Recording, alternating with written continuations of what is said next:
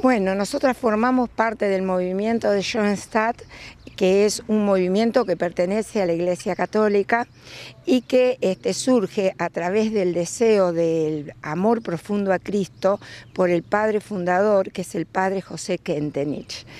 Bueno, y está, este movimiento está, eh, si bien surge en Alemania, está en todo el mundo. Y nosotros aquí en Argentina tenemos muchos santuarios y el santuario, el santuario nacional está en Florencio Varela. Este, luego, ese movimiento, bueno, eh, viene aquí a Villa Constitución este, a partir de eh, las fundadoras de este movimiento aquí, que son Viviana, este, Elba y lógicamente otras misioneras más de aquel año 2004 aproximadamente, ¿no es cierto? 2003-2004. Y bueno, después, viste, nos fuimos sumando otras este, a este movimiento de fe y les damos lugar a la presencia de María para que ella eh, llegue al corazón de las familias y de las necesidades profundas que tienen las familias de acercarse a Dios. Y lo que hace precisamente Nuestra Señora de Schoenstatt es eso, eh, abrir el camino y construir los puentes para que las familias necesitadas puedan acercarse con sus pedidos a Dios. Y este lugar, que es un lugar santo en el cual estamos, es un lugar elegido por la Madre, este, mm, fue pensado por ellas en mucho tiempo. Más de 15 años. Más de 15 años. Y para ello rezaron durante todo ese tiempo mil Ave Marías eh, todos los meses, sin parar. El único tiempo que pararon fue durante la pandemia.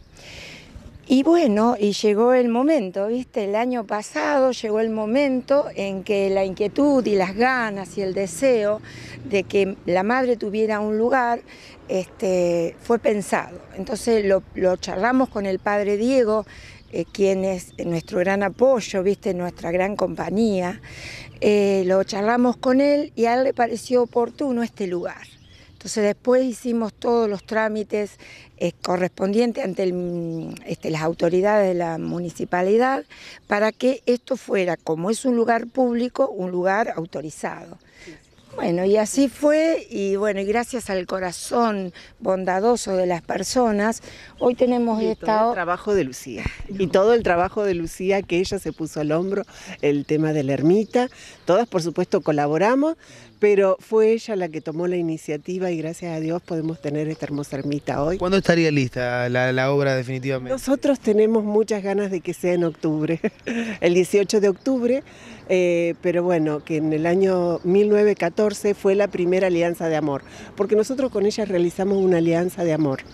Nosotros con la Virgen hacemos esa alianza, en donde nosotros le ofrecemos nuestras oraciones, nuestros sacrificios, nuestras alegrías, nuestras tristezas, y, ella obra milagros.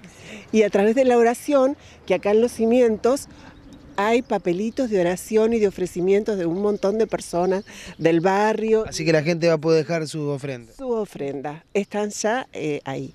Y vienen siempre a ofrecer y a pedirle a la Virgen y ella se va a establecer acá. Para cerrar, la gente que se quiera sumar al movimiento. Eh, bueno, en primer lugar, eh, yo te quiero comentar que nosotras somos misioneras y que para ello este, hacemos en primer lugar la Alianza de Amor y luego recibimos las imágenes peregrinas que van a las familias. La gente que se quiera sumar nos puede encontrar siempre los segundos jueves de cada mes en la parroquia eh, San Pablo. Ahí estamos rezando Mil Ave María por todas las intenciones que tengan eh, y todos aquellos que sientan la necesidad de decirnos algo, de pedirnos algo, nos encuentran en ese lugar. Y luego, lógicamente, este va a ser el lugar de encuentro y cuando se realice la bendición, lógicamente que los vamos a invitar.